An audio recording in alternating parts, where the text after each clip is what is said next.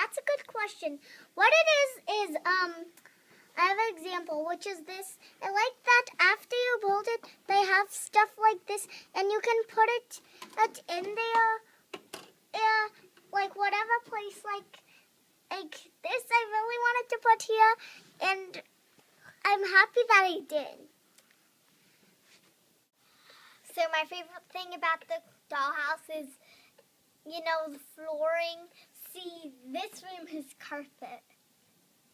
Yeah, and you know how how these rooms have how these rooms have a wooden floor, and this room has tile.